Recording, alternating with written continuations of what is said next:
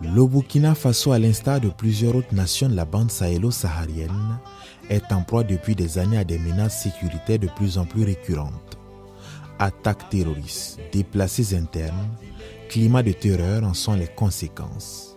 Et pour y remédier, le DECAF, le Centre de Genève pour la gouvernance du secteur de la sécurité, œuvre inlassablement depuis 2014 aux côtés du gouvernement burkinabé à améliorer la sécurité de l'État et de sa population dans un cadre de gouvernance démocratique, l'état de droit et le respect des droits humains. Partenaire privilégié du Parlement burkinabé, elle a initié en faveur de la Commission de la défense et de la sécurité de l'Assemblée nationale un atelier de formation et d'auto-évaluation de la Commission du 14 au 18 juillet 2021 à propos du LASSO. Cela pour renforcer les capacités techniques des parlementaires afin de favoriser le contrôle efficace du secteur de la sécurité. Ils sont ici pour représenter le peuple. Et aujourd'hui, le peuple demande de pouvoir retrouver la paix, la stabilité, principalement dans cette région du Sahel. Et aujourd'hui, ils sont ici pour pouvoir aussi apprendre à comment euh, jouer leur rôle de représentation, le rôle de contrôle de l'action gouvernementale et aussi pouvoir revenir vers la base, vers leurs élus pour dire ce qui est en train de, ce qui est en train d'être fait. Cette plateforme d'échange et d'apprentissage a permis aux parlementaires d'approfondir leurs connaissances sur les questions sécuritaires et leur rôle dans le contrôle du secteur. Ce fut aussi le lieu d'élaborer un plan de développement des capacités parlementaires et un plan de développement législatif du secteur de la sécurité. Au sortir des travaux, ce sont des députés outillés et prêts à servir qui expriment leur satisfaction. Atelier très très très riche parce que les apports ont été divers.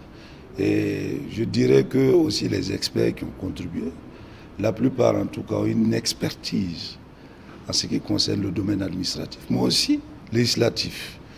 Et cela, en tout cas, nous a enrichi, au plus haut point.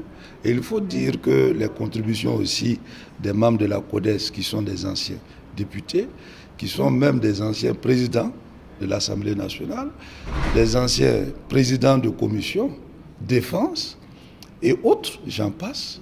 Tout cela permet à ce que, en tout cas, les honorables députés puissent s'enrichir.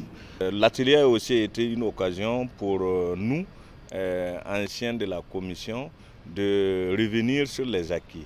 Parce que la 7e législature a connu un certain nombre de lois euh, importantes, euh, telles que par exemple l'organisation générale de la défense, le cadre du personnel de la police, l'Agence nationale de renseignement, etc. beaucoup de, lois qui ont permis donc à notre État de pouvoir gérer certaines questions en matière de sécurité et de défense. Ça a été aussi une occasion euh, de revenir sur, euh, euh, j'allais dire, les acquis en termes donc, de renforcement des capacités, les acquis en termes de contrôle. Depuis que nous avons commencé les travaux, nous avons appris beaucoup de choses sur la démarche à suivre, sur les insuffisances qu'il peut avoir, comment les combler pour que nous puissions faire notre travail de façon sereine pendant la législature qui, qui démarre. Le fait que les membres d'une même commission se retrouvent dans une ville comme Bobo, ça nous permet d'être ensemble tous les jours, de nous familiariser et d'apprendre à travailler ensemble. Je crois que ça c'est assez important aussi, parce qu'à l'Assemblée nationale, ce n'est pas du tout évident euh, après les séances plénières ou les travaux en commission, chacun rentre chez lui. Or ici, depuis quelques jours, nous sommes ensemble tous les jours et de façon, nous faisons les journées continues. Et ça nous apprend à travailler ensemble, à mieux nous connaître. Et je crois que cela est très important. Cet atelier est venu donc euh, euh, à temps au bon moment pour permettre aux députés de renforcer donc leurs capacités, de mieux appréhender les questions de défense et de sécurité, et bien sûr, ainsi que tous les contours. Une satisfaction partagée par le DECAF qui invite les parlementaires à faire valoir ce qu'ils ont appris au profit des populations et de la sécurité au Burkina Faso. Les parlementaires ici ne doivent pas être des, des ornementaux, ils doivent être des véritables partenaires qui explique l'attente des populations et qui pousse le gouvernement à agir dans le sens de la volonté du peuple. C'est exactement ça. Et nous, nous leur donnons ces outils-là Et il y a des ateliers, des travaux de renforcement des capacités législatives, de renforcement aussi de la fonction qu'ils ont de ne pas avoir peur, de pousser quand même euh, l'exécutif à assumer son rôle. C'est ça le rôle du contrôle.